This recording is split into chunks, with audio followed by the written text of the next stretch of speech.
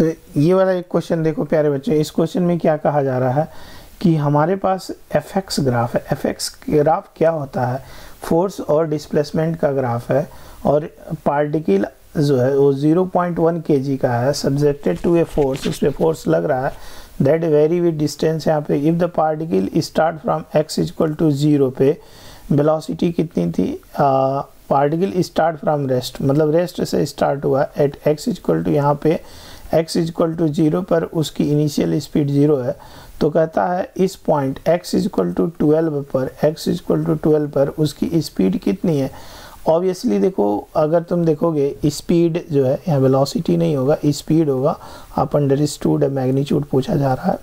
तो यहाँ पर तुम देखोगे चेंज इन स्पीड अगर तुम देखोगे तो वर्क एनर्जी थ्योरम लगा दो, जो एफ़ एक्स का ग्राफ है। अगर मैं एफ़ और इधर एफ़ बनाता हूँ और इधर एक्स बनाता हूँ तो इस रिक्टेंगल का जो एरिया है, वो एफ़ एक्स के बराबर होगा। दैट इज़ वर्क डन मतलब वर्क डन जो होता है area under F X curve area of area under F X curve F X का जो कर्व है उसका जो एरिया इन, ये वाला जो एरिया अंडर द कर्व आएगा ये वाला एरिया वो क्या देगा? वर्क डन देगा, ठीक ना?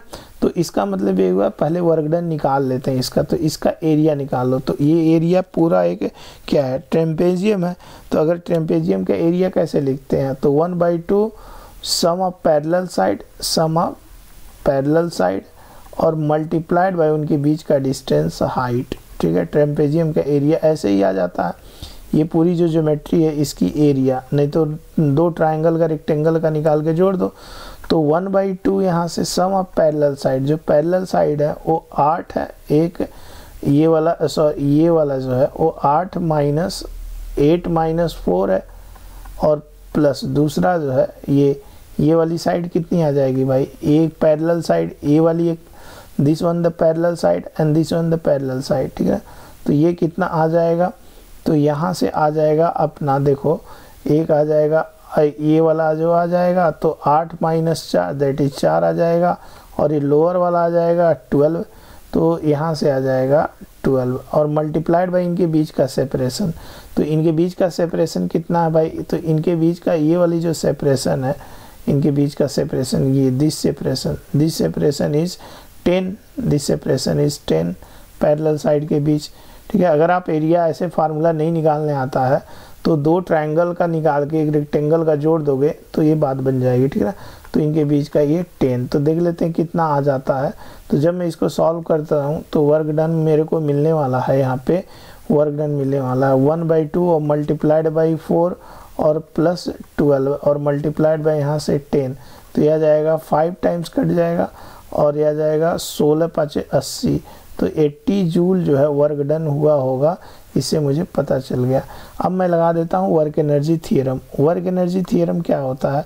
वर्क एनर्जी थियरम ये कहता है कि work done by all the forces must be equal to change in kinetic energy. तो change in kinetic energy kinetic energy final जो कि चाहिए, और माइनस काइनेटिक एनर्जी इसकी इनिशियल कितनी थी? ज़ीरो थी। तो यहाँ से आ जाएगा हाफ़ एम बी स्क्वायर और इनिशियली यहाँ से ज़ीरो और work done by all the forces equal to eighty joule तो यहाँ से तुम देखोगे एट्टी और वन बाई टू और मास कितना है? ज़ीरो पॉइंट वन और यहाँ से स्पीड भी का स्क्वायर जो कि हमें यहाँ से मिल जाएगा। तो यहाँ से फर्दर इसको सॉल्व करोगे तो भी स्क्वायर की जो वैल्यू आ जाएगी वो एट्टी मल्टीप्लाइड बाई टू यहाँ से और 0.1 ऊपर नीचे 10 से मल्टीप्लाई कर दोगे तो ये पॉइंट हट जाएगा और ये अंडर रूट स्पीड ले लोगे यहाँ से तो 16 ये अंडर रूट ठीक है ना? तो ये आ जाएगा 40 जू 40 metre per second that is the speed अब देखो इसमें से कौन सा हमारा मैच करता है ऑप्शन तो अगर उसमें से देखोगे तो 40 मतलब ये है डी ऑप्शन अपना मैच कर जाता है। थैंक यू बाबा टेक केयर